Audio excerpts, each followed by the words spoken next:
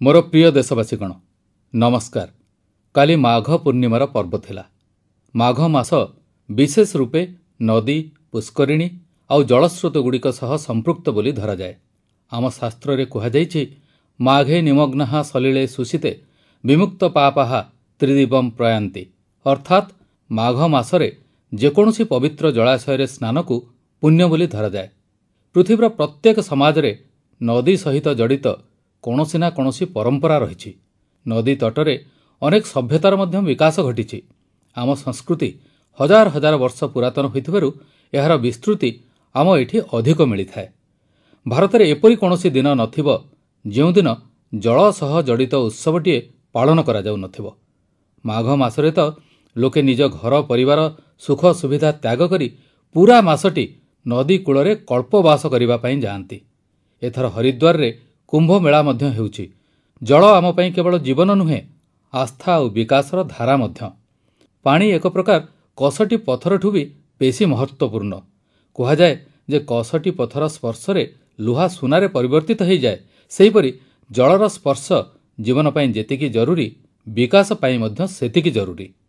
ବନ୍ଧୁଗଣ ମାଘ ମାସକୁ ଜଳ ସହ ଯୋଡ଼ିବାର ସମ୍ଭବତଃ ଆଉ ଏକ କାରଣ ମଧ୍ୟ ରହିଛି ଯେ ଏହା ପରଠାରୁ ଶୀତ ଶେଷ ହୁଏ ଆଉ ଗରମ ଆରମ୍ଭ ହୁଏ। ତେଣୁ ପାଣିର ସଂରକ୍ଷଣ କରିବା ପାଇଁ ଆମକୁ ଏବେଠାରୁ ହିଁ ପ୍ରୟାସ ଆରମ୍ଭ କରିବା ଦରକାର। କିଛିଦିନ ପରେ ମାର୍ଚ୍ଚ 22 ତାରିଖରେ ବିଶ୍ୱ ଜଳ ଦିବସ ବି ପାଳନ କରାଯିବ। ମୋତେ ୟୁପିର ଆରାଧ୍ୟାଜୀ ଲେଖିଛନ୍ତି ଯେ ବିଶ୍ୱର କୋଟି କୋଟି ଲୋକ ନିଜ ଜୀବନର ବହୁଳାଂଶ ପାଣିର ଅଭାବକୁ ପୂରା କରିବାରେ ହିଁ ଲଗାଇଥାନ୍ତି। ବିନ୍ ପାନି ସବ୍ ସୁନ୍ କେବଳ ସେମିତି କୁହାଯାଇନାହିଁ ଜଳ ସଙ୍କଟର ସମାଧାନ ପାଇଁ ପଶ୍ଚିମବଙ୍ଗର ଉତ୍ତର ଦିନାଜପୁରରୁ ସୁଜିତ ବହୁତ ସୁନ୍ଦର ବାର୍ତ୍ତା ମୋ ପାଖକୁ ପଠାଇଛନ୍ତି। ସୁଜିତ ଲେଖିଛନ୍ତି ଯେ ପ୍ରକୃତି ଜଳ ରୂପରେ ଆମକୁ ଏକ ସାମୂହିକ ଉପହାର ଦେଇଛି। ତେଣୁ ଏହାକୁ ସଂରକ୍ଷଣ କରିବାର ଦାୟିତ୍ୱ ମଧ୍ୟ ସାମୂହିକ। ଏହା ଠିକ୍ କଥା। ଯେପରି ସାମୂହିକ ଉପହାର ସେହିପରି ସାମୂହିକ ଉତ୍ତରଦାୟିତ୍ୱ ମଧ୍ୟ। ସୁଜିତଙ୍କ କଥା ବିଲକୁଲ ଠିକ୍। ନଦୀ ପୋଖରୀ ହ୍ରଦ ବର୍ଷା ବା ଭୂତଳ ଜଳ ଏସବୁ ସମସ୍ତଙ୍କ ପାଇଁ। ବନ୍ଧୁଗଣ ଦିନ ଥିଲା ଯେତେବେଳେ ଗାଁରେ କୂଅ ପୋଖରୀର ଯତ୍ନ ସମସ୍ତେ ମିଳିମିଶି ନେଉଥିଲେ। ଏବେ ତାମିଲନାଡୁର ତିରୁୱନ୍ନାମଲାଇରେ ଏହିଭଳି ଏକ ପ୍ରୟାସ ହେଉଛି। ଏଠାରେ ସ୍ଥାନୀୟ ଲୋକେ ନିଜ ନିଜର କୂଅକୁ ସଂରକ୍ଷିତ କରି ରଖିବା ପାଇଁ ଅଭିଯାନ ଚଳାଇଛନ୍ତି। ଏହି ଲୋକ ନିଜ ଅଞ୍ଚଳର ବର୍ଷ ବର୍ଷ ଧରି ବ୍ୟବହାର ହେଉନଥିବା ସାର୍ବଜନୀନ କୂଅଗୁଡ଼ିକୁ ପୁଣି ଥରେ ଜୀବନ୍ତ କରୁଛନ୍ତି।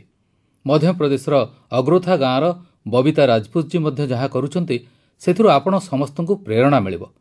ବବିତାଜୀଙ୍କ ଗାଁ ବୁନ୍ଦେଲଖଣ୍ଡରେ ରହିଛି। ତାଙ୍କ ଗାଁ ପାଖରେ ଏକଦା ଗୋଟିଏ ବହୁତ ବଡ଼ ହ୍ରଦ ଥିଲା ଯାହା ଶୁଖିଯାଇଥିଲା ସେ ଗାଁର ଅନ୍ୟ ମହିଳାମାନଙ୍କୁ ସାଥୀ କଲେ ଏବଂ ହ୍ରଦ ପର୍ଯ୍ୟନ୍ତ ପାଣି ଯିବା ପାଇଁ ଏକ ନାଳ ତିଆରି କରିଦେଲେ। ଏହି ନାଳ ଯୋଗେ ବର୍ଷା ଜଳ ସିଧା ହ୍ରଦକୁ ଯିବାକୁ ଲାଗିଲା। ଏବେ ଏହି ହ୍ରଦରେ ପାଣି ଭର୍ତ୍ତି ହୋଇ ରହିଛି। ବନ୍ଧୁଗଣ ଉତ୍ତରାଖଣ୍ଡର ବାଗେଶ୍ୱରରେ ରହୁଥିବା ଜଗଦୀଶ କୁନିୟାଲ ଜୀଙ୍କର କାମ ବହୁତ କିଛି ଶିକ୍ଷା ଦେଇଥାଏ। ଜଗଦୀଶ ଜୀଙ୍କର ଗାଁ ଆଉ ଆଖପାଖ ଅଞ୍ଚଳ ଜଳ ପାଇଁ ଏକ ପ୍ରାକୃତିକ ଉତ୍ସ ଉପରେ ନିର୍ଭରଶୀଳ ଥିଲା। କିନ୍ତୁ କିଛି ବର୍ଷ ପୂର୍ବରୁ ସେହି ଜଳସ୍ରୋତ ଶୁଖିଗଲା। ଏହାଦ୍ୱାରା ସମଗ୍ର ଅଞ୍ଚଳରେ ଜଳ ସଙ୍କଟ ବଢ଼ି ବଢ଼ି ଚାଲିଲା। ଜଗଦୀଶ ଜୀ ଏହି ସଙ୍କଟର ସମାଧାନ ପାଇଁ ବୃକ୍ଷରୋପଣ କରିବାକୁ ସଂକଳ୍ପ ନେଲେ। ସେ ଗାଁ ଲୋକଙ୍କ ସହ ମିଶି ସମଗ୍ର ଅଞ୍ଚଳରେ ହଜାର ହଜାର ଗଛ ଲଗାଇଲେ। ଆଉ ଆଜି ସେହି ଅଞ୍ଚଳର ଶୁଷ୍କ ଜଳ ଉତ୍ସ ପୁଣି ଥରେ ଭରିଯାଇଛି। ବନ୍ଧୁଗଣ ପାଣିକୁ ନେଇ ଆମେ ଏହିଭଳି ନିଜର ସାମୂହିକ ଦାୟିତ୍ୱକୁ ବୁଝିବାକୁ ପଡ଼ିବ। ଭାରତର ଅଧିକାଂଶ ଅଞ୍ଚଳରେ ମଇ ଜୁନ୍ ମାସରେ ବର୍ଷା ଆରମ୍ଭ ହୁଏ। ଆମେ ଏବେଠାରୁ ନିଜ ଆଖପାଖର ଜଳାଶୟଗୁଡ଼ିକର ସଫା କରିବା ପାଇଁ ବର୍ଷା ଜଳ ସଂରକ୍ଷଣ ପାଇଁ ଶହେ ଦିନିଆ କୌଣସି ଅଭିଯାନ ଆରମ୍ଭ କରିପାରିବେ କି? ଏହି ଭାବନାକୁ ନେଇ କିଛିଦିନ ପରେ ଜଳଶକ୍ତି ମନ୍ତ୍ରଣାଳୟ ଦ୍ୱାରା ଜଳଶକ୍ତି ଅଭିଯାନ କ୍ୟାଚ୍ ଦି ରେନ୍ ମଧ୍ୟ ଆରମ୍ଭ ହେବାକୁ ଯାଉଛି। ଏହି ଅଭିଯାନର ମୂଳ ମନ୍ତ୍ର ହେଉଛି catch the rain. Where it falls when it falls ଆମେ ଏବେଠୁ ଏକାଠି ହେବା ଆମେ ଆଗରୁ ଥିବା ବର୍ଷା ଜଳ ସଂରକ୍ଷଣ ବ୍ୟବସ୍ଥାକୁ ମରାମତି କରିଦେବା ଗାଁର ଗଡ଼ିଆ ପୋଖରୀକୁ ସଫା କରିଦେବା ଜଳାଶୟ ପର୍ଯ୍ୟନ୍ତ ପାଣି ଯାଇପାରିବା ଭଳି ରାସ୍ତାରୁ ପ୍ରତିବନ୍ଧକ ହଟାଇଦେବା ତେବେ ଅଧିକରୁ ଅଧିକ ବର୍ଷା ଜଳ ସଂରକ୍ଷଣ କରିପାରିବା। ମୋର ପ୍ରିୟ ଦେଶବାସୀଗଣ ଯେତେବେଳେ ମାଘ ମାସ ଏବଂ ତାର ଆଧ୍ୟାତ୍ମିକ ସାମାଜିକ ମହତ୍ୱ ସମ୍ପର୍କରେ ଚର୍ଚ୍ଚା ହୁଏ ସେତେବେଳେ ଗୋଟିଏ ନାମ ବିନା ଏହା ସମ୍ପୂର୍ଣ୍ଣ ହୁଏ ନାହିଁ। ଏହି ନାମ ସନ୍ଥ ରବିଦାସ ଜୀଙ୍କର ମାଘ ପୂର୍ଣ୍ଣିମା ଦିନ ହିଁ ସନ୍ଥ ରବିଦାସଙ୍କ ଜୟନ୍ତୀ। ଆଜି ମଧ୍ୟ ସନ୍ଥ ରବିଦାସ ଜୀଙ୍କର ଶବ୍ଦ ତାଙ୍କର ଜ୍ଞାନ ଆମକୁ ପଥ ପ୍ରଦର୍ଶନ କରିଥାଏ। ସେ କହିଥିଲେ ଏକୈ ମାତି କେ ସଭ ଭାଣ୍ଡେ ସବକା ଏକୌ ସିରଜନହାର ରବିଦାସ ବ୍ୟାପୈ ଏକୈ ଘଟ ଭିତର ସବକୋ ଏକୈ ଘଡ଼ୈ କୁମ୍ହାର ଆମେ ସମସ୍ତେ ମାଟି ଭାଣ୍ଡ। ଜଣେ ମୂର୍ତ୍ତିକାର ଆମ ସମସ୍ତଙ୍କୁ ହିଁ ଗଢ଼ିଛନ୍ତି। ସନ୍ଥ ରବିଦାସ ଜୀ ସମାଜରେ ବ୍ୟାପ୍ତ ବିକୃତିକୁ ନେଇ ସବୁବେଳେ ଖୋଲାଖୋଲି କହୁଥିଲେ। ସେ ଏହି ବିକୃତି ସବୁକୁ ସମାଜ ସାମ୍ନାରେ ଉପସ୍ଥାପିତ କରିଥିଲେ। ତାକୁ ସୁଧାରିବାର ବାଟ ଦେଖାଇଥିଲେ। ଆଉ ସେଇଥିପାଇଁ ତ ମୀରାଜୀ କହିଥିଲେ ଗୁରୁ ମିଲିୟା ରୈଦାସ ଦିନ୍ ହିଁ ଜ୍ଞାନ କି ଗୁଟ୍କି ଅର୍ଥାତ୍ ଗୁରୁ ରୂପରେ ରୈଦାସ ମିଳିଛନ୍ତି ଆଉ ସେ ସତ୍ ଜ୍ଞାନର ଅମୃତ ପିଆଇଛନ୍ତି। ମୋର ସୌଭାଗ୍ୟ ଯେ ମୁଁ ସନ୍ଥ ରବିଦାସ ଜୀଙ୍କ ଜନ୍ମସ୍ଥଳୀ ବାରାଣସୀ ସହ ସମ୍ପୃକ୍ତ ହୋଇଛି। ସନ୍ଥ ରବିଦାସ ଜୀଙ୍କ ଜୀବନର ଆଧ୍ୟାତ୍ମିକ ଉଚ୍ଚତାକୁ ଏବଂ ତାଙ୍କର ଶକ୍ତିକୁ ମୁଁ ସେହି ତୀର୍ଥସ୍ଥଳରେ ଅନୁଭବ କରିଛି। ବନ୍ଧୁଗଣ ରବିଦାସ ଜୀ କହୁଥିଲେ କରମ ବନ୍ଧନ ମେ ବନ୍ଧ ରହିଓ ଫଲ୍ କି ନା ତଜ୍ଜିଓ ଆସ୍। କର୍ମ ମାନୁଷ କା ଧର୍ମ ହେ ସତ୍ ଭାଖେଇ ରବିଦାସ। ଅର୍ଥାତ୍ ଆମେ ନିରନ୍ତର ଆପଣା କର୍ମ କରିଚାଲିବା ଉଚିତ। ଫଳ ତ ମିଳିବ ହିଁ ମିଳିବ ମାନେ କର୍ମରୁ ସିଦ୍ଧି ତ ହେବ ହିଁ ହେବ। ଆମ ଯୁବବର୍ଗଙ୍କୁ ସନ୍ଥ ରବିଦାସଙ୍କଠାରୁ ଆଉ ଗୋଟିଏ କଥା ନିଶ୍ଚିତ ଭାବେ ଶିଖିବା ଆବଶ୍ୟକ। ଯୁବପିଢ଼ିକୁ କୌଣସି କାମ କରିବା ପାଇଁ ନିଜକୁ ପୁରୁଣା ରୀତିନୀତିରେ ବାନ୍ଧି ହୋଇ ରହିବା ଅନୁଚିତ। ଆପଣମାନେ ନିଜ ଜୀବନକୁ ନିଜେ ହିଁ ସ୍ଥିର କରନ୍ତୁ। ନିଜର ରୀତିନୀତି ମଧ୍ୟ ନିଜେ ତିଆରି କରନ୍ତୁ ଏବଂ ନିଜ ଲକ୍ଷ୍ୟ ମଧ୍ୟ ନିଜେ ସ୍ଥିର କରନ୍ତୁ। ଯଦି ଆପଣଙ୍କ ବିବେକ ଆପଣଙ୍କ ଆତ୍ମବିଶ୍ୱାସ ଦୃଢ଼ ଅଛି ତେବେ ଆପଣଙ୍କୁ ପୃଥିବୀର କୌଣସି ଜିନିଷକୁ ଡରିବାର ଆବଶ୍ୟକତା ନାହିଁ। ମୁଁ ଏହା ଏଇଥିପାଇଁ କହୁଛି ଯେ ଅନେକ ସମୟରେ ଆମର ଯୁବପିଢ଼ି ପୁରୁଣା ରୀତିନୀତିର ଚାପରେ ସେହି କାମ କରିପାରନ୍ତି ନାହିଁ ଯାହାକୁ ସେମାନେ ପ୍ରକୃତରେ ପସନ୍ଦ କରନ୍ତି। ଏଥିପାଇଁ ଆପଣମାନଙ୍କୁ କେବେ ମଧ୍ୟ ନୂଆ ଚିନ୍ତା କରିବାକୁ ନୂଆ କାମ କରିବାକୁ ଦ୍ୱିଧାବୋଧ କରିବା ଉଚିତ ନୁହେଁ। ସେହିପରି ସନ୍ଥ ରବିଦାସ ଜୀ ଆଉ ଏକ ମହତ୍ୱପୂର୍ଣ୍ଣ ସନ୍ଦେଶ ଦେଇଛନ୍ତି। ଏହି ସନ୍ଦେଶ ହେଉଛି ନିଜ ଗୋଡ଼ରେ ନିଜେ ଠିଆ ହେବା। ଆମେ ନିଜର ସ୍ୱପ୍ନ ପୂରଣ ପାଇଁ ଅନ୍ୟ ଉପରେ ନିର୍ଭର କରିବା ଏହା ଆଦୌ ଠିକ୍ ନୁହେଁ। ଯେଉଁଟା ଯେପରି ତାହା ସେପରି ଚାଲୁ। ରବିଦାସ ଜୀ କେବେ ମଧ୍ୟ ଏହାର ସପକ୍ଷରେ ନଥିଲେ ଏବଂ ଆଜି ଆମେ ଦେଖୁଛୁ ଯେ ଦେଶର ଯୁବା ମଧ୍ୟ ଏହି ଭାବନା ସପକ୍ଷରେ ଆଦୌ ନାହାନ୍ତି। ଆଜି ଯେତେବେଳେ ଦେଶର ଯୁବପିଢ଼ିଙ୍କ ଭିତରେ ଇନୋଭେଟିଭ୍ ସ୍ପିରିଟ୍ ଦେଖେ ମୋତେ ଲାଗେ ଯେ ଆମର ଯୁବପିଢ଼ିକୁ ନେଇ ସନ୍ଥ ରବିଦାସ ଜୀଙ୍କୁ ନିଶ୍ଚିତ ଗର୍ବ ଅନୁଭବ ହୋଇଥାନ୍ତା। ମୋର ପ୍ରିୟ ଦେଶବାସୀଗଣ ଆଜି ଜାତୀୟ ବିଜ୍ଞାନ ଦିବସ। ଆଜିର ଦିନ ଭାରତର ମହାନ ବୈଜ୍ଞାନିକ ଡକ୍ଟର ସିଭି ରମଣଙ୍କ ଦ୍ୱାରା ଆବିଷ୍କୃତ ରମଣ ଏଫେକ୍ଟ ପାଇଁ ସମର୍ପିତ। କେରଳରୁ ୟୋଗେଶ୍ୱରନ୍ ଜୀ ନମୋ ଆପ୍ରେ ଲେଖିଛନ୍ତି ଯେ ରମଣ ଏଫେକ୍ଟର ଆବିଷ୍କାର ସମଗ୍ର ବିଜ୍ଞାନର ଦିଗକୁ ବଦଳି ଦେଇଥିଲା। ଏଥିସହ ଜଡ଼ିତ ଏକ ବହୁତ ସୁନ୍ଦର ସନ୍ଦେଶ ମୋତେ ନାସିକର ସ୍ନେହିଲ ଜୀ ବି ପଠାଇଛନ୍ତି। ସ୍ନେହିଲ ଜୀ ଲେଖିଛନ୍ତି ଯେ ଆମ ଦେଶରେ ଅଗଣିତ ବୈଜ୍ଞାନିକ ରହିଛନ୍ତି ଯାହାଙ୍କର ଯୋଗଦାନ ବିନା ବିଜ୍ଞାନ ଏପରି ପ୍ରଗତି କରିପାରିନଥାନ୍ତା। ଆମେ ବିଶ୍ୱର ଅନ୍ୟ ବୈଜ୍ଞାନିକମାନଙ୍କୁ ଯେମିତି ଜାଣୁ ସେହିପରି ଭାରତର ବୈଜ୍ଞାନିକମାନଙ୍କ ସମ୍ପର୍କରେ ମଧ୍ୟ ଜାଣିବା ଉଚିତ। ମୁଁ ମଧ୍ୟ ମନ୍ କୀ ବାତ୍ର ଏହି ଶ୍ରୋତାଙ୍କ ସହ ଏକମତ। ମୁଁ ନିଶ୍ଚିତ ଚାହିଁବି ଯେ ଆମର ଯୁବପିଢ଼ି ଭାରତର ବୈଜ୍ଞାନିକ ଇତିହାସକୁ ଆମର ବୈଜ୍ଞାନିକମାନଙ୍କୁ ଜାଣନ୍ତୁ ବୁଝନ୍ତୁ ଆଉ ବହୁତ ପଢ଼ନ୍ତୁ। ବନ୍ଧୁଗଣ ଯେତେବେଳେ ଆମେ ବିଜ୍ଞାନ ବିଷୟରେ ଆଲୋଚନା କରୁ ଅନେକ ସମୟରେ ଏହାକୁ ଲୋକେ ଫିଜିକ୍ସ କେମିଷ୍ଟ୍ରି କିମ୍ବା ପରୀକ୍ଷାଗାର ପର୍ଯ୍ୟନ୍ତ ହିଁ ସୀମିତ କରିଦିଅନ୍ତି। କିନ୍ତୁ ବିଜ୍ଞାନର ବିସ୍ତୃତି ଏହାଠାରୁ ଢେର ଅଧିକ ଏବଂ ଆତ୍ମନିର୍ଭର ଭାରତ ଅଭିଯାନରେ ବିଜ୍ଞାନର ଶକ୍ତିର ବହୁତ ଯୋଗଦାନ ରହିଛି। ଆମେ ବିଜ୍ଞାନକୁ ଲ୍ୟାବ୍ ଟୁ ଲ୍ୟାଣ୍ଡ ମନ୍ତ୍ର ସହ ଆଗକୁ ବଢ଼ାଇବାକୁ ପଡ଼ିବ। ଉଦାହରଣ ସ୍ୱରୂପ ହାଇଦ୍ରାବାଦର ଚିନ୍ତଲା ଭେଙ୍କଟ ରେଡ୍ଡି ଜୀଙ୍କୁ ନିଆଯାଉ। ରେଡ୍ଡି ଜୀଙ୍କର ଜଣେ ଡାକ୍ତର ବନ୍ଧୁ ତାଙ୍କୁ ଥରେ ଭିଟାମିନ୍ ଡି ଅଭାବରୁ ହେଉଥିବା ରୋଗ ଏବଂ ତାର ଅସୁବିଧା ବିଷୟରେ କହିଲେ। ରେଡ୍ଡି ଜୀ ଜଣେ ଚାଷୀ। ସେ ଏହି ସମସ୍ୟାର ସମାଧାନ ପାଇଁ କଣ ବା କରିପାରିବେ? ଏହାପରେ ସେ ପରିଶ୍ରମ କଲେ ଆଉ ଗହମ ଧାନର ଏଭଳି ପ୍ରଜାତି ବିକଶିତ କଲେ ଯାହା ବିଶେଷ ଭାବରେ ଭିଟାମିନ୍ ଡି ଯୁକ୍ତ। ଏହି ମାସରେ ତାଙ୍କୁ ୱାର୍ଲଡ ଇଣ୍ଟେଲେକ୍ଚୁଆଲ ପ୍ରପର୍ଟି ଅର୍ଗାନାଇଜେସନ ଜେନିଭାରୁ ପ୍ୟାଟେଣ୍ଟ ବି ମିଳିଛି। ଆମ ସରକାରଙ୍କର ସୌଭାଗ୍ୟ ଯେ ଭେଙ୍କଟ ରେଡ୍ଡି ଜୀଙ୍କୁ ଗତବର୍ଷ ପଦ୍ମଶ୍ରୀରେ ସମ୍ମାନିତ କରାଯାଇଥିଲା। ଏପରି ବହୁତ ଇନୋଭେଟିଭ୍ ଉପାୟରେ ଲଦ୍ଦାଖର ଓର୍ଗେନ୍ ଫୁତ୍ସୋଗ୍ ମଧ୍ୟ କାମ କରୁଛନ୍ତି। ଓର୍ଗେନ୍ ଜୀ ଏତେ ଉଚ୍ଚ ଜାଗାରେ ଜୈବିକ ଚାଷ କରି ପ୍ରାୟ କୋଡ଼ିଏ ପ୍ରକାରର ଫସଲ କରୁଛନ୍ତି ଯାହାକୁ ମଧ୍ୟ ସାଇକ୍ଲିକ୍ ଶୈଳୀରେ ଅର୍ଥାତ୍ ଗୋଟିଏ ଫସଲର ବର୍ଜ୍ୟକୁ ଦ୍ୱିତୀୟ ଫସଲରେ ସାର ଭାବରେ ବ୍ୟବହାର କରୁଛନ୍ତି। ସତରେ ଚମତ୍କାର କଥା ନୁହେଁ କି? ସେହିପରି ଗୁଜରାତର ପାଟନ ଜିଲ୍ଲାରେ କାମରାଜ ଭାଇ ଚୌଧୁରୀ ଘରେ ହିଁ ସଜନାର ଉନ୍ନତ ବିହନ ବିକଶିତ କରିଛନ୍ତି। ଏହାକୁ କେତେକ ଲୋକ ସର୍ଗୱା କହନ୍ତି ଆଉ କେଉଁଠି କେଉଁଠି ମୋରିଙ୍ଗା ବା ଡ୍ରମଷ୍ଟିକ୍ ମଧ୍ୟ କୁହାଯାଏ। ଉନ୍ନତ କିସମର ବିହନରେ ଯେଉଁ ସଜନା ଫଳେ ତାର କ୍ୱାଲିଟି ବହୁତ ଭଲ ହୋଇଥାଏ। ନିଜ ଉତ୍ପାଦକୁ ସେ ଏବେ ତାମିଲନାଡୁ ଏବଂ ପଶ୍ଚିମବଙ୍ଗ ପଠାଇ ନିଜର ଆୟ ମଧ୍ୟ ବଢ଼ାଉଛନ୍ତି। ବନ୍ଧୁଗଣ ଆଜିକାଲି ଚିଆ ସିଡ୍ସ ବା ଚିଆ ମଞ୍ଜିର ନାମ ଆପଣମାନଙ୍କ ଭିତରୁ ଅନେକ ଲୋକ ଶୁଣିଥିବେ। ସ୍ୱାସ୍ଥ୍ୟ ସଚେତନତା ସହିତ ସମ୍ପୃକ୍ତ ଲୋକେ ଏହାକୁ ଖୁବ୍ ଗୁରୁତ୍ୱ ଦେଉଛନ୍ତି ଆଉ ପୃଥିବୀରେ ଏହାର ଚାହିଦା ମଧ୍ୟ ଅଧିକ। ଭାରତର ଲୋକେ ଏହାକୁ ବେଶୀ ବାହାରୁ ହିଁ ମଗାନ୍ତି କିନ୍ତୁ ଏବେ ଚିଆ ସିଡ୍ସରେ ଆତ୍ମନିର୍ଭରତାର ବୋଝ ମଧ୍ୟ ଲୋକେ ଉଠାଉଛନ୍ତି। ଏହିପରି ଭାବେ ୟୁପିର ବାରାବଙ୍କିର ହରିଶ୍ଚନ୍ଦ୍ର ଜୀ ଚିଆ ସିଡ୍ସର ବା ଚିଆ ମଞ୍ଜିର ଚାଷ ଆରମ୍ଭ କରିଛନ୍ତି। ଚିଆ ସିଡ୍ସର ଚାଷ ତାଙ୍କ ଆୟକୁ ମଧ୍ୟ ବଢ଼ାଇବ ଏବଂ ଆତ୍ମନିର୍ଭର ଭାରତ ଅଭିଯାନରେ ମଧ୍ୟ ସାହାଯ୍ୟ କରିବ। ବନ୍ଧୁଗଣ ସମଗ୍ର ଦେଶରେ କୃଷି ବର୍ଜ୍ୟରୁ ଟଙ୍କା ରୋଜଗାର କରିବାର ଅନେକ ପରୀକ୍ଷା ନିରୀକ୍ଷା ସଫଳତାର ସହ ଚାଲିଛି। ଯେମିତିକି ମଦୁରାଇର ମୁରୁଗୁସେନ ଜୀ କଦଳୀର ବର୍ଜ୍ୟରୁ ଦଉଡ଼ି ତିଆରି କରିବାର ଏକ ମେସିନ୍ ନିର୍ମାଣ କରିଛନ୍ତି। ମୁରୁଗୁସେନ ଜୀଙ୍କର ଏହି ଇନୋଭେସନରୁ ପରିବେଶ ଆଉ ଆବର୍ଜନାର ସମାଧାନ ହେବ ଏବଂ ଚାଷୀଙ୍କ ପାଇଁ ଅତିରିକ୍ତ ଆୟର ବାଟ ମଧ୍ୟ ମିଳିବ। ବନ୍ଧୁଗଣ ମନ୍ କୀ ବାତ୍ର ଶ୍ରୋତାମାନଙ୍କୁ ଏତେ ଲୋକଙ୍କ ସମ୍ପର୍କରେ କହିବାର ମୋର ଉଦ୍ଦେଶ୍ୟ ହେଉଛି ଯେ ଆମେ ସମସ୍ତେ ଏମାନଙ୍କଠାରୁ ପ୍ରେରଣା ନେବା। ଯେତେବେଳେ ଦେଶର ପ୍ରତ୍ୟେକ ନାଗରିକ ନିଜ ଜୀବନରେ ବିଜ୍ଞାନର ବିସ୍ତାର କରିବେ ସବୁ କ୍ଷେତ୍ରରେ କରିବେ ତାହେଲେ ପ୍ରଗତିର ରାସ୍ତା ମଧ୍ୟ ଖୋଲିବ ଏବଂ ଦେଶ ଆତ୍ମନିର୍ଭର ମଧ୍ୟ ହୋଇପାରିବ। ଆଉ ମୋର ବିଶ୍ୱାସ ରହିଛି ଯେ ଦେଶର ପ୍ରତ୍ୟେକ ନାଗରିକ ଏହା କରିପାରିବେ। ମୋର ପ୍ରିୟ ବନ୍ଧୁଗଣ କୋଲକାତାର ରଞ୍ଜନ ଜୀ ନିଜ ଚିଠିରେ ବହୁତ ରୋଚକ ଏବଂ ମୌଳିକ ପ୍ରଶ୍ନ ପଚାରିଛନ୍ତି ଏବଂ ତା ସହ ସୁନ୍ଦର ଭାବେ ତାର ଉତ୍ତର ଦେବାକୁ ମଧ୍ୟ ଚେଷ୍ଟା କରିଛନ୍ତି। ସେ ଲେଖିଛନ୍ତି ଯେ ଯେତେବେଳେ ଆମେ ଆତ୍ମନିର୍ଭର ହେବାର କଥା କହୁ ସେତେବେଳେ ଆମ ପାଇଁ ଏହାର ଅର୍ଥ କଣ? ଏହି ପ୍ରଶ୍ନର ଉତ୍ତର ସେ ନିଜେ ଲେଖିଛନ୍ତି ଯେ ଆତ୍ମନିର୍ଭର ଭାରତ ଅଭିଯାନ କେବଳ ଏକ ଗଭର୍ଣ୍ଣମେଣ୍ଟ ପଲିସି ନୁହେଁ ବରଂ ଏକ ନ୍ୟାସନାଲ ସ୍ପିରିଟ୍ ସେ କହନ୍ତି ଯେ ଆତ୍ମନିର୍ଭର ହେବାର ଅର୍ଥ ନିଜ ଭାଗ୍ୟର ଫଇସଲା ନିଜେ କରିବା ଅର୍ଥାତ୍ ସ୍ୱୟଂ ନିଜ ଭାଗ୍ୟର ନିୟନ୍ତା ହେବା। ରଞ୍ଜନ ବାବୁଙ୍କ କଥା ଶହେ ପ୍ରତିଶତ ଠିକ୍। ତାଙ୍କ କଥାକୁ ଆଗକୁ ବଢ଼େଇ ମୁଁ ଏହା ମଧ୍ୟ କହିବି ଯେ ଆତ୍ମନିର୍ଭରତାର ପ୍ରଥମ ସର୍ତ୍ତ ହେଲା ନିଜ ଦେଶର ଜିନିଷ ପାଇଁ ଗର୍ବ କରିବା ନିଜ ଦେଶର ଲୋକଙ୍କ ଦ୍ୱାରା ନିର୍ମିତ ଜିନିଷକୁ ନେଇ ଗର୍ବିତ ହେବା।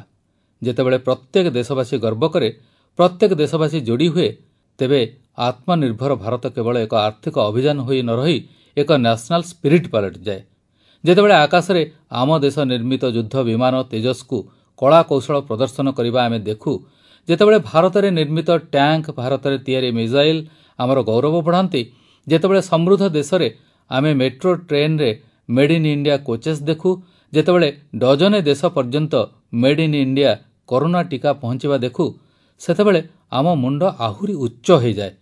ଏବଂ ଏହା ମଧ୍ୟ ନୁହେଁ ଯେ କେବଳ ବଡ଼ ବଡ଼ ଜିନିଷ ହିଁ ଭାରତକୁ ଆତ୍ମନିର୍ଭର କରିବ। ଭାରତରେ ତିଆରି କପଡ଼ା ଭାରତର ଦକ୍ଷ କାରିଗରଙ୍କ ଦ୍ୱାରା ତିଆରି ହସ୍ତଶିଳ୍ପ ଜିନିଷ ଭାରତର ଇଲେକ୍ଟ୍ରୋନିକ୍ ଉପକରଣ ଭାରତରେ ନିର୍ମିତ ମୋବାଇଲ ପ୍ରତି କ୍ଷେତ୍ରରେ ଆମକୁ ଏହି ଗୌରବର ସମ୍ବର୍ଦ୍ଧନ କରିବାକୁ ହେବ।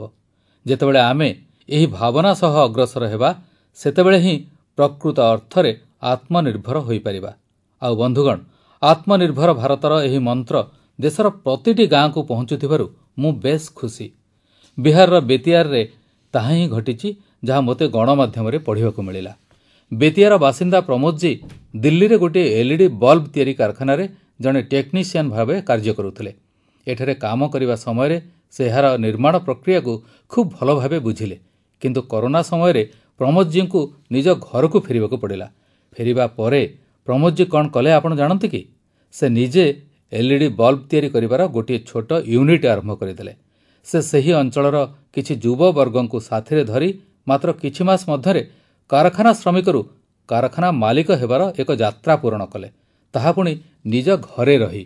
ଆଉ ଗୋଟିଏ ଉଦାହରଣ ହେଉଛି ଉତ୍ତରପ୍ରଦେଶ ଗଡ଼ମୁକ୍ତେଶ୍ୱରର। ଗଡ଼ମୁକ୍ତେଶ୍ୱରରୁ ଶ୍ରୀମାନ ସନ୍ତୋଷ ଲେଖିଛନ୍ତି ଯେ କରୋନା ସମୟରେ ସେ କିଭଳି ଭାବରେ ଦୁର୍ଯୋଗକୁ ସୁଯୋଗରେ ପରିଣତ କରିଦେଲେ। ସନ୍ତୋଷ ଜୀଙ୍କର ପୂର୍ବପୁରୁଷ ଖୁବ୍ ଭଲ କାରିଗର ଥିଲେ। ସେମାନେ ମସିଣା ବୁଣିବା କାମ କରୁଥିଲେ। କରୋନା ସମୟରେ ଯେତେବେଳେ ଅନ୍ୟାନ୍ୟ କାମ ଅଟକିଗଲା ସେମାନେ ପୁରା ଦମରେ ମସିଣା ତିଆରି କରିବା ଆରମ୍ଭ କରିଦେଲେ। ବହୁତ କମ୍ ଦିନ ମଧ୍ୟରେ ସେମାନଙ୍କୁ କେବଳ ଯେ ଉତ୍ତରପ୍ରଦେଶ ତା ନୁହେଁ ବରଂ ଅନ୍ୟ ରାଜ୍ୟମାନଙ୍କରୁ ମଧ୍ୟ ମସିଣା ଯୋଗାଇବାର ଅର୍ଡର ମିଳିବା ଆରମ୍ଭ ହୋଇଗଲା। ସନ୍ତୋଷ ଜୀ ଏକଥା ମଧ୍ୟ କହିଛନ୍ତି ଯେ ଏହାଦ୍ୱାରା ଏ ଅଞ୍ଚଳର ଶହ ଶହ ବର୍ଷ ପୁରାତନ କଳା ମଧ୍ୟ ନୂତନ ଶକ୍ତି ଲାଭ କଲା। ବନ୍ଧୁଗଣ ଦେଶଯାକରେ ଏଭଳି ଅନେକ ଉଦାହରଣ ରହିଛି ଯେଉଁଠି ଲୋକେ ଆତ୍ମନିର୍ଭର ଭାରତ ଅଭିଯାନରେ ଏହିଭଳି ଭାବରେ ନିଜର ଯୋଗଦାନ ଦେଉଛନ୍ତି। ଆଜି ଏହା ଏକ ଭାବନାରେ ପରିଣତ ହୋଇଛି ଯାହା ସାଧାରଣ ଲୋକଙ୍କ ହୃଦୟରେ ପ୍ରବାହିତ ହେଉଛି।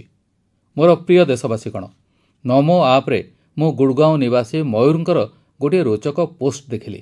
ସେ ଜଣେ ଉତ୍ସାହୀ ପକ୍ଷୀ ନିରୀକ୍ଷଣକାରୀ ଏବଂ ପ୍ରକୃତିପ୍ରେମୀ ମୟୂରଜୀ ଲେଖିଛନ୍ତି ଯେ ମୁଁ ତ ହରିୟାଣାରେ ରହୁଛି କିନ୍ତୁ ମୁଁ ଚାହୁଁଛି ଯେ ଆପଣ ଆସାମର ଲୋକ ବିଶେଷକରି କାଜିରଙ୍ଗାର ଲୋକଙ୍କ ସମ୍ପର୍କରେ କିଛି ଆଲୋଚନା କରନ୍ତୁ। ମୁଁ ଭାବୁଥିଲି ଯେ ମୟୂରଜୀ ଗଣ୍ଡା କଥା କହୁଥିବେ ଯାହାକୁ ସେଠାରେ ନିଜ ଗାଁର ଗୌରବ ଭାବେ ବିବେଚନା କରାଯାଏ।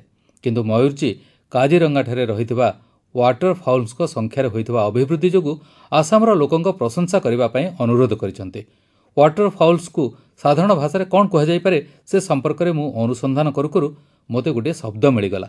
ଜଳପକ୍ଷୀ ଏଭଳି ପକ୍ଷୀ ଯେଉଁମାନଙ୍କ ବାସସ୍ଥାନ କୌଣସି ଗଛ ଉପରେ ନଥାଏ ବରଂ ଏମାନେ ପାଣି ଉପରେ ହିଁ ବାସ କରିଥାନ୍ତି ଯେମିତିକି ବତକ ଇତ୍ୟାଦି ପକ୍ଷୀ। କାଜିରଙ୍ଗା ଜାତୀୟ ଉଦ୍ୟାନ ଏବଂ ବ୍ୟାଘ୍ର ସଂରକ୍ଷଣ ପ୍ରାଧିକରଣ ଗତ କିଛି ବର୍ଷ ଧରି ବାର୍ଷିକ ୱାଟରଫାଉଲ୍ସ ଗଣନା କରିଆସୁଛି ଏହି ଗଣନା ଦ୍ୱାରା ପକ୍ଷୀମାନଙ୍କର ସଂଖ୍ୟା ଜଣାପଡ଼ୁଛି ଏବଂ ସେମାନଙ୍କ ପସନ୍ଦର ବାସସ୍ଥାନ ସମ୍ପର୍କରେ ମଧ୍ୟ ସୂଚନା ମିଳୁଛି। ମାତ୍ର ଦୁଇ ତିନି ସପ୍ତାହ ପୂର୍ବେ ହିଁ ପୁଣି ଥରେ ସର୍ଭେ କରାଯାଇଛି।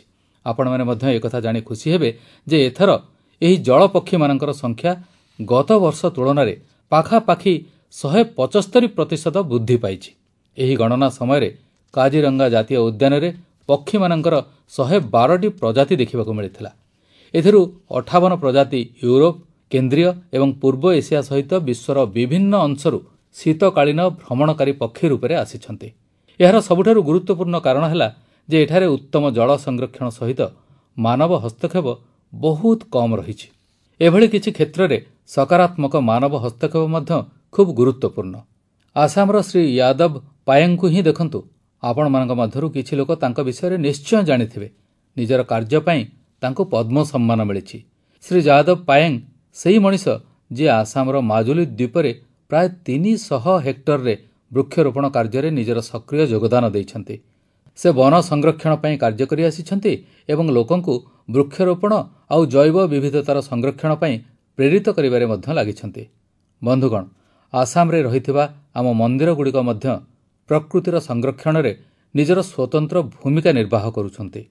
ଆମ ମନ୍ଦିରଗୁଡ଼ିକୁ ଲକ୍ଷ୍ୟ କଲେ ଆପଣମାନେ ଦେଖିବେ ଯେ ପ୍ରତି ମନ୍ଦିର ପାଖରେ ପୁଷ୍କରିଣୀଟିଏ ରହୁଛି। ହଜୋଠାରେ ଥିବା ହୟଗ୍ରୀବ ମଧେବ ମନ୍ଦିର ଶୋଣିତପୁରଠାରେ ଥିବା ନାଗଶଙ୍କର ମନ୍ଦିର ଏବଂ ଗୌହାଟୀଠାରେ ରହିଥିବା ଉଗ୍ରତାରା ମନ୍ଦିର ନିକଟରେ ଏଭଳି ଅନେକ ପୁଷ୍କରିଣୀ ରହିଛି। ଏହାର ବ୍ୟବହାର ବିଲୁପ୍ତ ହୋଇଯାଉଥିବା କଇଁଛମାନଙ୍କ ପ୍ରଜାତିଗୁଡ଼ିକର ସୁରକ୍ଷା ନିମନ୍ତେ କରାଯାଉଛି। ଆସାମରେ କଇଁଛମାନଙ୍କର ସବୁଠାରୁ ଅଧିକ ପ୍ରଜାତି ଦେଖିବାକୁ ମିଳେ। ମନ୍ଦିରମାନଙ୍କରେ ଥିବା ଏହି ପୁଷ୍କରିଣୀଗୁଡ଼ିକ କଇଁଛମାନଙ୍କର ସଂରକ୍ଷଣ ପ୍ରଜନନ ଏବଂ ସେମାନଙ୍କ ବିଷୟରେ ପ୍ରଶିକ୍ଷଣ ପାଇଁ ଉତ୍ତମ ସ୍ଥାନ ରୂପେ ପରିଗଣିତ ହୋଇପାରନ୍ତି। ମୋର ପ୍ରିୟ ଦେଶବାସୀଗଣ କିଛି ଲୋକେ ଭାବନ୍ତି ଯେ ଇନୋଭେସନ୍ ପାଇଁ ଆପଣ ଜଣେ ବୈଜ୍ଞାନିକ ହୋଇଥିବା ଆବଶ୍ୟକ। କିଛି ଲୋକେ ଭାବନ୍ତି ଯେ ଅନ୍ୟମାନଙ୍କୁ କିଛି ଶିଖାଇବାକୁ ହେଲେ ଆପଣ ଜଣେ ଶିକ୍ଷକ ହେବା ଆବଶ୍ୟକ। ଏଭଳି ଚିନ୍ତାଧାରାକୁ ଆହ୍ୱାନ ରୂପେ ଗ୍ରହଣ କରୁଥିବା ଲୋକେ ସର୍ବଦା ପ୍ରଶଂସାର ପାତ୍ର। ଏଇ ଯେମିତି କେହି ଜଣେ ଅନ୍ୟମାନଙ୍କୁ ସୈନିକ ହେବା ପାଇଁ ପ୍ରଶିକ୍ଷିତ କରୁଥାଏ ତେବେ ସେ ନିଜେ କ'ଣ ଜଣେ ସୈନିକ ହୋଇଥିବା ଜରୁରୀ? ଆପଣମାନେ ଭାବୁଥିବେ ଯେ ହଁ ଏହା ନିହାତି ଜରୁରୀ। କିନ୍ତୁ ଏଇଠି ଘଟଣାରେ ରହିଛି ଟିକିଏ ମୋଡ଼। ମାଇ ଗଭ୍ରେ ଶ୍ରୀଯୁକ୍ତ କମଲକାନ୍ତ ଗୋଟିଏ ରିପୋର୍ଟ ସେୟାର କରିଛନ୍ତି ଯାହା ଗୋଟିଏ ଭିନ୍ନ କାହାଣୀ କହୁଛି। ଓଡ଼ିଶାର ଅରଖକୁଦରେ ଜଣେ ଭଦ୍ରବ୍ୟକ୍ତି ରହୁଛନ୍ତି ନାୟକ ସାର୍। ଅବଶ୍ୟ ତାଙ୍କ ପୁରା ନାଁ ସିଲୁ ନାୟକ କିନ୍ତୁ ସମସ୍ତେ ତାଙ୍କୁ ନାୟକ ସାର୍ ନାଁରେ ହିଁ ଡାକନ୍ତି। ବାସ୍ତବରେ ସେ ଜଣେ ମ୍ୟାନ୍ ଅନ୍ ଏ ମିଶନ୍। ସେ ସେହି ଯୁବବର୍ଗଙ୍କୁ ପ୍ରଶିକ୍ଷଣ ପ୍ରଦାନ କରୁଛନ୍ତି ଯେଉଁମାନେ ସୈନ୍ୟବାହିନୀରେ ଯୋଗ ଦେବା ପାଇଁ ଆଗ୍ରହୀ। ନାୟକ ସାର୍ଙ୍କ ଅନୁଷ୍ଠାନର ନାମ ହେଉଛି ମହାଗୁରୁ ବ୍ୟାଟାଲିୟନ ଏଥିରେ ଫିଜିକାଲ ଫିଟନେସ୍ଠାରୁ ଆରମ୍ଭ କରି ସାକ୍ଷାତକାର ପର୍ଯ୍ୟନ୍ତ ଏବଂ ଲେଖାଲେଖିଠାରୁ ଆରମ୍ଭ କରି ତାଲିମ ପର୍ଯ୍ୟନ୍ତ ସମସ୍ତ ଦିଗ ଉପରେ ଶିକ୍ଷା ଦିଆଯାଉଛି। ଆପଣମାନେ ଜାଣି ଆଶ୍ଚର୍ଯ୍ୟ ହେବେ ଯେ ସେ ଯେଉଁମାନଙ୍କୁ ତାଲିମ ପ୍ରଦାନ କରିଛନ୍ତି ସେମାନେ ସ୍ଥଳସେନା ନୌସେନା ବାୟୁସେନା ସିଆର୍ପିଏଫ୍ ବିଏସ୍ଏଫ୍ ଭଳି ସୁରକ୍ଷା ବାହିନୀରେ ନିଜର ସ୍ଥାନ ସୃଷ୍ଟି କରିପାରିଛନ୍ତି। ଆହୁରି ମଧ୍ୟ ଆପଣମାନେ ଜାଣି ଆଶ୍ଚର୍ଯ୍ୟ ହେବେ ଯେ ସିଲୁ ନାୟକ ନିଜେ ଓଡ଼ିଶା ପୁଲିସ ଚାକିରିରେ ଯୋଗ ଦେବା ପାଇଁ ଚେଷ୍ଟା କରିଥିଲେ କିନ୍ତୁ ସେଥିରେ ତାଙ୍କୁ ସଫଳତା ମିଳିନଥିଲା। ଏହା ସତ୍ତ୍ୱେ ସେ ନିଜ ପ୍ରଶିକ୍ଷଣ ଦ୍ୱାରା ଅନେକ ଯୁବକଙ୍କୁ ଦେଶ ସେବା ପାଇଁ ଯୋଗ୍ୟ କରିପାରିଛନ୍ତି। ଆସନ୍ତୁ ଆମେ ସମସ୍ତେ ମିଶି ନାୟକ ସାର୍ଙ୍କୁ ଶୁଭେଚ୍ଛା ଜଣାଇବା ଯାହାଫଳରେ ସେ ଆମ ଦେଶ ପାଇଁ ଆହୁରି ଅନେକ ନାୟକ ଗଢ଼ିପାରିବେ। ବନ୍ଧୁଗଣ ବେଳେବେଳେ ଖୁବ୍ ଛୋଟ ଆଉ ସାମାନ୍ୟ ପ୍ରଶ୍ନଟିଏ ବି ମନକୁ ଆନ୍ଦୋଳିତ କରିଦିଏ। ଏହି ପ୍ରଶ୍ନଗୁଡ଼ିକ ବଡ଼ ହୋଇନଥାନ୍ତି ଖୁବ୍ ସହଜ ହୋଇଥାନ୍ତି ତଥାପି ଏସବୁ ଆମକୁ ଚିନ୍ତା କରିବାକୁ ବାଧ୍ୟ କରିଦିଅନ୍ତି। କିଛିଦିନ ଆଗରୁ ହାଇଦ୍ରାବାଦର ଅପର୍ଣ୍ଣା ରେଡ୍ଡି ମୋତେ ଏଇଭଳି ଗୋଟିଏ ପ୍ରଶ୍ନ ପଚାରିଲେ। ସେ ପଚାରିଲେ ଯେ ଆପଣ ଏତେ ବର୍ଷ ହେଲା ପ୍ରଧାନମନ୍ତ୍ରୀ ହୋଇ ରହିଛନ୍ତି ଅନେକ ବର୍ଷ ଧରି ମୁଖ୍ୟମନ୍ତ୍ରୀ ଭାବେ ମଧ୍ୟ ରହିଥିଲେ କିଛି ଅସମ୍ପୂର୍ଣ୍ଣ ରହିଗଲା ଭଳି ଆପଣଙ୍କୁ କେବେ ଲାଗେ କି? ଅପର୍ଣ୍ଣାଙ୍କ ପ୍ରଶ୍ନଟି ଖୁବ୍ ସହଜ ମନେ ହେଉଥିଲେ ହେଁ ସେତିକି କଠିନ। ଏହି ପ୍ରଶ୍ନ ଉପରେ ମୁଁ ଚିନ୍ତା କଲି ଏବଂ ନିଜକୁ କହିଲି ଯେ ଏହି କଥା ଅସମ୍ପୂର୍ଣ୍ଣ ରହିଲା ଯେ ବିଶ୍ୱର ସବୁଠାରୁ ପ୍ରାଚୀନ ଭାଷା ତାମିଲ ଶିଖିବା ପାଇଁ ମୁଁ ଅଧିକ ପ୍ରୟାସ କରିପାରିଲିନି। ମୁଁ ତାମିଲ ଶିଖିପାରିଲିନି। ଏହା ଏଭଳି ଏକ ସୁନ୍ଦର ଭାଷା ଯାହା ସାରା ବିଶ୍ୱରେ ଲୋକପ୍ରିୟ। ଅନେକ ଲୋକେ ମୋତେ ତାମିଲ ସାହିତ୍ୟର ମାନ ଏବଂ ଏଥିରେ ରଚିତ କବିତାଗୁଡ଼ିକର ଗଭୀରତା ସମ୍ପର୍କରେ ବହୁତ କିଛି କହିଛନ୍ତି। ଭାରତ ଏହିଭଳି ଅନେକ ଭାଷାର ଭୂମି ଯାହା ଆମ ସଂସ୍କୃତି ଏବଂ ଗୌରବର ପ୍ରତୀକ। ଭାଷା ସମ୍ପର୍କରେ କହିବା ବେଳେ ମୁଁ ଗୋଟିଏ ଛୋଟ ରୁଚିପୂର୍ଣ୍ଣ କ୍ଲିପ୍ ଆପଣମାନଙ୍କ ସହିତ ସେୟାର କରିବାକୁ ଚାହୁଁଛି भवतां सर्वेषां हार्दं हार्दं स्वागतम् अस्ति एकतामूर्त्याः दक्षिणतः सात्पुला व- पर्वतमाला अस्ति एकतामूर्त्याः वामतः विन्ध्याचलपर्वतमाला अस्ति एकतामूर्त्याः नर्मदानदीस्य उपरि भागे वर्तते अहम् एकतामूर्त्याः कार्यकर्ता अस्ति सरदार वल्लभभाई पटेलः लोहपुरुषः इति उच्यते ଏବେ ଆପଣମାନେ ଯେଉଁ ସ୍ୱର ଶୁଣୁଥିଲେ ପ୍ରକୃତରେ ତାହା ଥିଲା ଷ୍ଟାଚ୍ୟୁ ଅଫ୍ ୟୁନିଟି ଉପରେ ଜଣେ ଗାଇଡ୍ ପର୍ଯ୍ୟଟକମାନଙ୍କୁ ସଂସ୍କୃତ ଭାଷାରେ ସର୍ଦ୍ଦାର ପଟେଲଙ୍କ ବିଶ୍ୱର ସର୍ବୋଚ୍ଚ ମୂର୍ତ୍ତି ସମ୍ପର୍କରେ କହୁଥିବାର ସ୍ୱର ଆପଣମାନେ ଜାଣି ଖୁସି ହେବେ ଯେ କେୱାଡ଼ିଆଠାରେ ପନ୍ଦର ଜଣରୁ ଅଧିକ ଗାଇଡ୍ ଅନର୍ଗଳ ଭାବେ ସଂସ୍କୃତ ଭାଷାରେ ଲୋକଙ୍କୁ ସେ ସ୍ଥାନ ସମ୍ପର୍କରେ ବୁଝାଉଛନ୍ତି ଏଥର ମୁଁ ଆପଣମାନଙ୍କୁ ଆଉ ଗୋଟିଏ ସ୍ୱର ଶୁଣାଉଛି कन्निक प्रक्षेप कह कान्हा ब्रह्मचारी कन्दुकम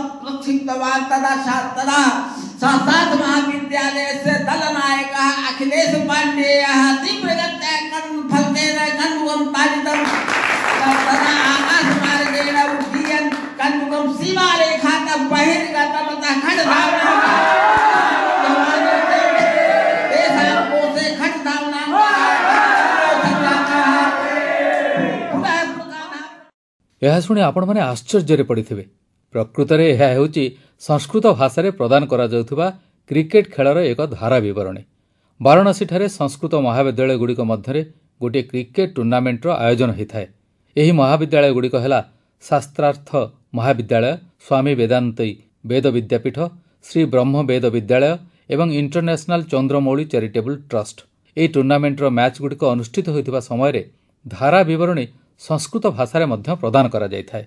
ମୁଁ ଏବେ ତ ଆପଣମାନଙ୍କୁ ସେହି ଧାରା ବିବରଣୀର ଗୋଟିଏ ଛୋଟ ଅଂଶ ଶୁଣେଇଲି କେବଳ ସେତିକି ନୁହେଁ ଏହି ଟୁର୍ଣ୍ଣାମେଣ୍ଟରେ ଖେଳାଳି ଏବଂ ଧାରା ବିବରଣୀ ପ୍ରଦାନକାରୀମାନେ ପାରମ୍ପରିକ ପୋଷାକ ପିନ୍ଧିଥିବା ଦେଖିବାକୁ ମିଳିଥାଏ। ଆପଣମାନେ ଯଦି ଏନର୍ଜି ଏକ୍ସାଇଟମେଣ୍ଟ ଆଉ ସସ୍ପେନ୍ସ ସବୁକିଛି ଏକାଠି ଚାହାନ୍ତି ତାହେଲେ ଆପଣମାନେ ଖେଳର ଧାରା ବିବରଣୀ ଶୁଣିବା ଉଚିତ। ଟେଲିଭିଜନ ଆସିବା ବହୁ ପୂର୍ବରୁ ଏହି ସ୍ପୋର୍ଟସ କମେଣ୍ଟରୀ ଜରିଆରେ ହିଁ ସାରା ଦେଶର ଲୋକେ କ୍ରିକେଟ ଆଉ ହକି ଭଳି ଖେଳର ରୋମାଞ୍ଚକୁ ଅନୁଭବ କରୁଥିଲେ। ଟେନିସ୍ ଏବଂ ଫୁଟବଲ ମ୍ୟାଚ୍ଗୁଡ଼ିକର ଧାରା ବିବରଣୀ ମଧ୍ୟ ଖୁବ୍ ଭଲ ଭାବେ ପରିବେଷଣ କରାଯାଉଥିଲା। ଆମେ ଲକ୍ଷ୍ୟ କରିଛୁ ଯେ ଯେଉଁ ଖେଳଗୁଡ଼ିକର ଧାରା ବିବରଣୀ ଯେତେ ସମୃଦ୍ଧ ସେ ଖେଳର ପ୍ରଚାର ପ୍ରସାର ମଧ୍ୟ ସେତିକି ଦ୍ରୁତ ଗତିରେ ହୋଇଥାଏ। ଭାରତରେ ଅନେକ ଗୁଡ଼ିଏ ଖେଳ ରହିଛି କିନ୍ତୁ ସେଥିରେ କମେଣ୍ଟ୍ରି କଲଚର ପ୍ରବେଶ କରିପାରିନି ଯାହାଫଳରେ ଏସବୁ ବିଲୁପ୍ତ ହେବାକୁ ବସିଲାଣି। ମୋ ମନକୁ ଗୋଟିଏ କଥା ଆସୁଛି ଆମ ଭାରତୀୟ ଖେଳଗୁଡ଼ିକର ଧାରା ବିବରଣୀ ବିଭିନ୍ନ ଭାଷାରେ ଭଲ ଭାବରେ କରାଗଲେ କେମିତି ହୁଅନ୍ତା? ଏହାକୁ ପ୍ରୋତ୍ସାହିତ କରିବା ପାଇଁ ଆମେ ନିଶ୍ଚୟ ଚେଷ୍ଟା କରିବା ଉଚିତ। ମୁଁ କ୍ରୀଡ଼ା ମନ୍ତ୍ରଣାଳୟ ଏବଂ ଘରୋଇ ସଂସ୍ଥାର ସହଯୋଗୀମାନଙ୍କୁ ଏ ସମ୍ପର୍କରେ ଚିନ୍ତା କରିବା ପାଇଁ ଅନୁରୋଧ କରୁଛି। ମୋର ପ୍ରିୟ ଯୁବବନ୍ଧୁଗଣ ଆସନ୍ତା କିଛି ମାସ ଆପଣମାନଙ୍କ ଜୀବନରେ ବିଶେଷ ଗୁରୁତ୍ୱ ବହନ କରିବାକୁ ଯାଉଛି। ଅଧିକାଂଶ ଯୁବବନ୍ଧୁମାନଙ୍କର ପରୀକ୍ଷା ଥିବ। ଆପଣମାନଙ୍କର ମନେ ଅଛି ତ? ୱାରିୟର ହେବାକୁ ହେବ। ଓରିୟର ନୁହେଁ। ହସି ହସି ପରୀକ୍ଷା ଦେବାକୁ ଯିବେ ଏବଂ ହସ ହସ ମୁହଁରେ ଫେରିବେ। ଆଉ କାହା ସହିତ ନୁହେଁ ବରଂ ନିଜ ସହ ପ୍ରତିଯୋଗିତା କରିବାକୁ ହେବ। ଯଥେଷ୍ଟ ନିଦ୍ରା ଉପଭୋଗ କରିବେ ଆଉ ଟାଇମ୍ ମ୍ୟାନେଜମେଣ୍ଟ ବି କରିବାକୁ ପଡ଼ିବ। ଖେଳିବା ବି ଛାଡ଼ିବେନି କାରଣ ଯିଏ ଖେଳିବେ ସିଏ ଆଗକୁ ବଢ଼ିବେ। ରିଭିଜନ ଏବଂ ମନେ ରଖିବାର ସ୍ମାର୍ଟ ଉପାୟ ବି ଅବଲମ୍ବନ କରିବାକୁ ହେବ। ଅର୍ଥାତ୍ ମୋଟ ଉପରେ କହିବାକୁ ଗଲେ ପରୀକ୍ଷାରେ ନିଜର ସର୍ବୋତ୍କୃଷ୍ଟ ପ୍ରଦର୍ଶନ କରିବାକୁ ପଡ଼ିବ। ଆପଣମାନେ ଭାବୁଥିବେ ଯେ ଏତେ ସବୁ ହେବ କେମିତି? ଆମେ ସମସ୍ତେ ମିଶି ଏହାକୁ ସମ୍ଭବ କରିବା। ପ୍ରତିବର୍ଷ ଭଳି ଏ ବର୍ଷ ମଧ୍ୟ ଆମେ କରିବା ପରୀକ୍ଷା ପେ ଚର୍ଚ୍ଚା। କିନ୍ତୁ ମାର୍ଚ୍ଚ ମାସରେ ହେବାକୁ ଥିବା ପରୀକ୍ଷା ପେ ଚର୍ଚ୍ଚା ପୂର୍ବରୁ ସମସ୍ତ ଏକ୍ଜାମ୍ ୱାରିୟର ସମସ୍ତ ଶିକ୍ଷକ ଶିକ୍ଷୟିତ୍ରୀ ଆଉ ଅଭିଭାବକମାନଙ୍କୁ ସେମାନଙ୍କ ଅନୁଭୂତି ଏବଂ ଟିପ୍ସ ମୋ ସହିତ ନିଶ୍ଚୟ ସେୟାର କରିବାକୁ ଅନୁରୋଧ କରୁଛି। ମାଇଁ ଗଭ୍ରେ ଆପଣ ଏହା ସେୟାର କରିପାରିବେ। ନରେନ୍ଦ୍ର ମୋଦି ଆପ୍ରେ ମଧ୍ୟ ସେୟାର କରିପାରିବେ। ଏଥର ପରୀକ୍ଷା ପେ ଚର୍ଚ୍ଚାରେ ଯୁବବନ୍ଧୁମାନଙ୍କ ସହିତ ଅଭିଭାବକ ଏବଂ ଶିକ୍ଷକ ଶିକ୍ଷୟିତ୍ରୀମାନେ ମଧ୍ୟ ନିମନ୍ତ୍ରିତ ହେବେ। କିଭଳି ଏଥିରେ ଅଂଶଗ୍ରହଣ କରିପାରିବେ? କିଭଳି ପୁରସ୍କାର ଜିତିପାରିବେ କିଭଳି ମୋ ସହିତ ଆଲୋଚନା କରିବାର ସୁଯୋଗ ପାଇପାରିବେ? ଏ ସବୁ ବିଷୟରେ ସୂଚନା ଆପଣ ମାଇଁ ଗଭ୍ରେ ପାଇପାରିବେ। ଏ ଯାଏ ଏକ ଲକ୍ଷରୁ ଅଧିକ ବିଦ୍ୟାର୍ଥୀ ପ୍ରାୟ ଚାଳିଶ ହଜାର ଅଭିଭାବକ ଏବଂ ପ୍ରାୟ ଦଶ ହଜାର ଶିକ୍ଷକ ଶିକ୍ଷୟିତ୍ରୀ ଏଥିରେ ଅଂଶଗ୍ରହଣ କରିସାରିଛନ୍ତି। ଆପଣ ମଧ୍ୟ ଆଜି ହିଁ ଅଂଶଗ୍ରହଣ କରନ୍ତୁ। ଏହି କରୋନା ସମୟରେ କିଛି ସମୟ ବାହାର କରି ମୁଁ ଏକ୍ଜାମ୍ ୱାରିୟର ବହିରେ କିଛି ନୂଆ ମନ୍ତ୍ର ଯୋଡ଼ି ଦେଇଛି। ଏବେ ଏଥିରେ ଅଭିଭାବକମାନଙ୍କ ପାଇଁ ମଧ୍ୟ କିଛି ମନ୍ତ୍ର ଯୋଡ଼ାଯାଇଛି ଏହି ମନ୍ତ୍ରଗୁଡ଼ିକ ସହିତ ଜଡ଼ିତ ଅନେକଗୁଡ଼ିଏ ରୋଚକ ଗତିବିଧି ନରେନ୍ଦ୍ର ମୋଦି ଆପ୍ରେ ଦିଆଯାଇଛି ଯାହା ଆପଣଙ୍କ ଭିତରେ ଜଣେ ଏକ୍ଜାମ୍ ୱାରିୟରକୁ ଉଜାଗର କରିବାରେ ସହାୟକ ହେବ।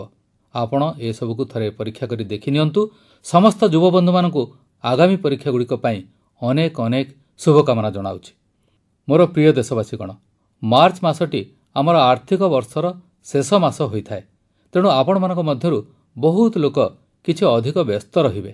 ଦେଶର ଆର୍ଥିକ ଗତିବିଧି ଯେଉଁଭଳି ଭାବରେ ଗତିଶୀଳ ହେଉଛି ତାହାଦ୍ୱାରା ଆମର ବ୍ୟବସାୟୀ ଏବଂ ଉଦ୍ୟମୀ ବନ୍ଧୁମାନଙ୍କ ବ୍ୟସ୍ତତା ବଢ଼ି ଚାଲିଛି ଏସବୁ ଭିତରେ କରୋନା ପ୍ରତି ଆମର ସଚେତନତା ମଧ୍ୟ ଯେମିତି ଉଣା ନ ହୁଏ ଆପଣମାନେ ସୁସ୍ଥ ରହିବେ ଖୁସିରେ ରହିବେ କର୍ତ୍ତବ୍ୟ ପଥରେ ଅଟଳ ରହିବେ।